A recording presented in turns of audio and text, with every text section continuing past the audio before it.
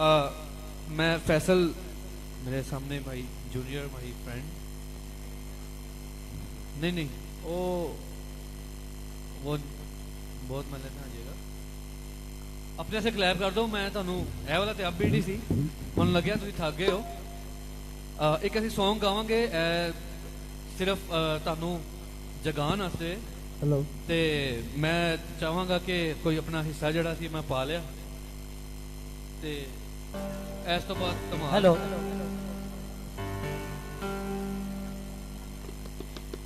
ਅੱਛਾ ਪਹਿਲੇ ਦੱਸਣਾ ਚਾਹਾਂ ਕਿ ਅਸੀਂ ਫਸਟ ਟਾਈਮ ਇਹਨੇ ਮੈਨੂੰ ਕਿਹਾ ਸੀ ਤੇ ਮੈਂ ਕੱਲ ਦਾ ਇਹਦੇ ਨਾਲ ਵਾਅਦਾ ਕੀਤਾ ਸੀ ਕਿ ਅਗਰ ਮੈਨੂੰ ਇਜਾਜ਼ਤ ਮਿਲੀ ਸਟੇਜ ਤੇ ਜਾਣ ਦੀ ਕੱਲ ਪ੍ਰੋਗਰਾਮ ਮੁੱਕਣ ਤੋਂ ਪਹਿਲੇ ਤੱਕ ਤੇ ਮੈਂ ਤੁਹਾਨੂੰ ਜ਼ਰੂਰ ਬੁਲਾਵਾਂਗਾ।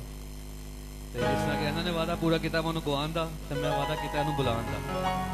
ਤੇ ਪਲੀਜ਼ प्लीज़ अपने वास्ते क्लैप कर दो. नॉट फॉर मी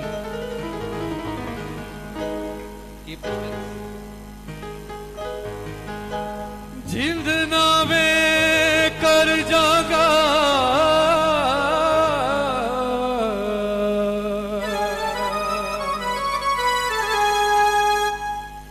ओ लोकी कहते माही मैं मर।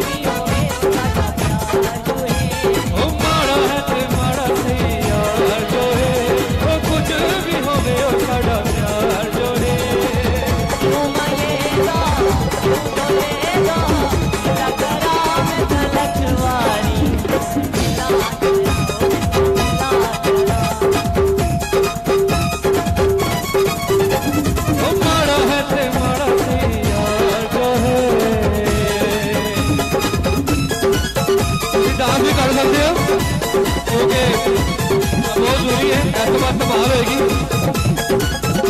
ਤੇ ਤੁਹਾਡਾ ਕੰਟਰੀਬਿਊਸ਼ਨ ਹੈ ਇਹ ਸਾਰੇ ਮੇਲੇ ਦੇ ਵਿੱਚ ਤੇ ਬਹੁਤ ਸ਼ੁਕਰੀਆ ਤੁਸੀਂ ਬੈਠ ਕੇ ਸੁਣ ਰਹੇ ਹੋ